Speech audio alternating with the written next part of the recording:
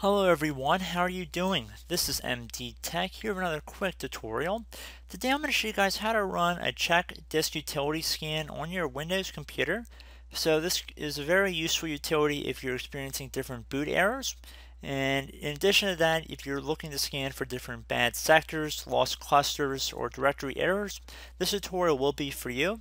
So there are a couple of different ways to open up the check disk utility and I'm going to go through what I think is one of the more easier ways in my opinion for people to understand and there's less room for mistake. So we're going to jump right into it and we're going to start by going to our start menu and you want to open it up and you want to type in this PC. Should be listed as a desktop app. You want to left click on it once to open it up. So now for our devices and drivers, you want to find whichever disk is experiencing the problems. And most people, the local disk will be the C drive. If you have an external drive that you want to run this integrity scan for as well, you can scan it as well, doing the same steps we're about to go through. And all you have to do is just right click on whatever drive you want to run this scan for. Left click on this properties button at the bottom of this context menu. And now you want to select tools so this Tools tab right next to General. Underneath Error Checking, this option will check the drive for file system errors. Left click on this check button right here. It might say you don't need to scan this drive. We haven't found any errors on this drive. You can still scan the drive for errors if you want.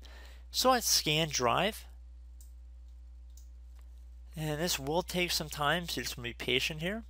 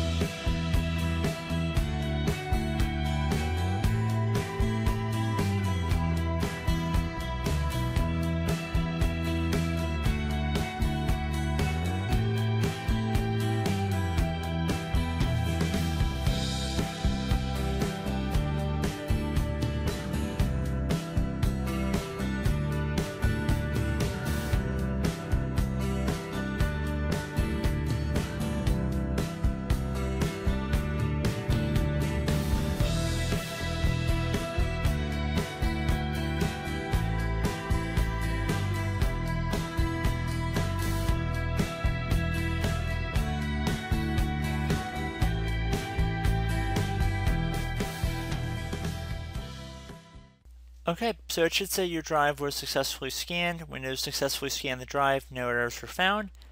Click on the Show Details button right here.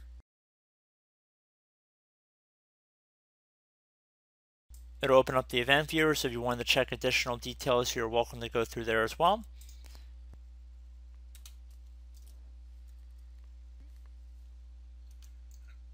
And you can see underneath information, the source was a check disk scan.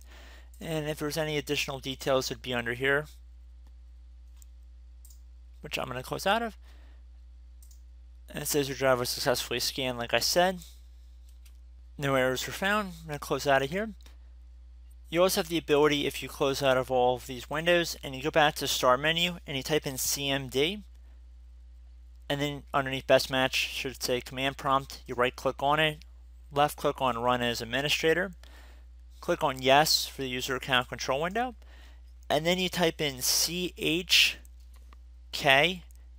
DSK space forward slash and then like I said for your local drive let's say whatever drive you're experiencing errors with let's say it's the C drive so I'm going to type in an uppercase C then I'm going to type in a colon and now I'm going to do a space forward slash F. What this will do is by doing the forward slash F, it will find and repair errors that are found. So I'm going to hit enter on my keyboard to run this command. It's going to say check disk cannot run because the volume is in use by another process. Would you like to schedule this volume to be checked the next time the system restarts?